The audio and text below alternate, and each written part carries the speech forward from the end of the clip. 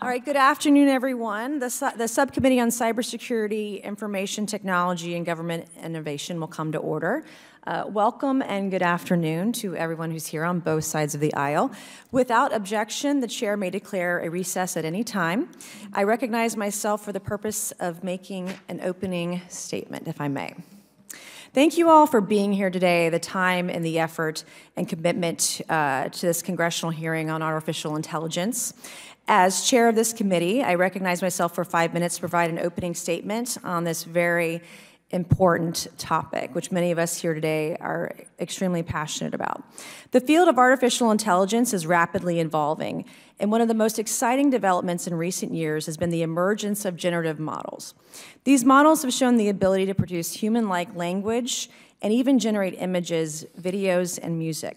While the potential applications of generative models are vast and impressive, there are also serious concerns about the ethical implications of their use. As we explore the potential of AI and generative models, it's essential that we consider the impact they may have on society. We must work together to ensure that AI is developed and used in a way that is ethical, transparent, and beneficial to all of society. This will require collaboration between government, industry, and academia to ensure that the AI we develop is reliable, trustworthy, and aligned with public policy goals. Moreover, we must consider the operational and legal responsibilities of companies that use these models.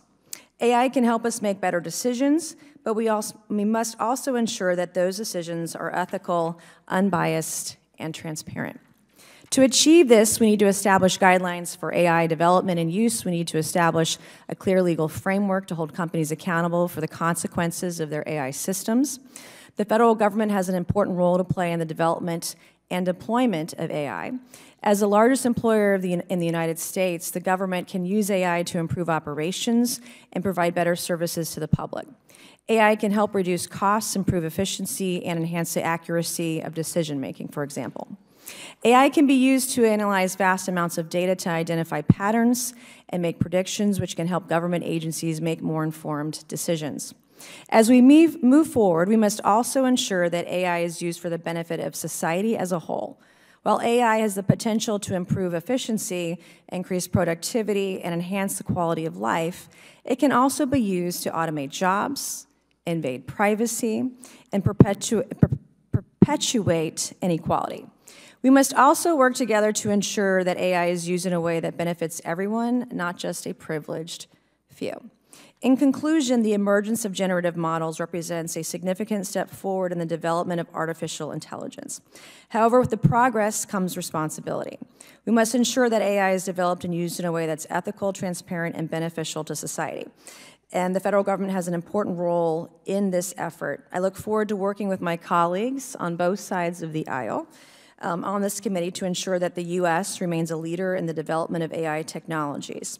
Thank you for your time and attention. Now, before I yield back, I'd like to note that everything I just said in my opening statement was, you guessed it, written by ChatGPT and AI. Uh, the advances that have ma been made just in the last few weeks and months uh, have been radical, they've been amazing, and show the technology uh, is rapidly evolving. Every single word up until this sentence was uh, generated entirely by ChatGPT.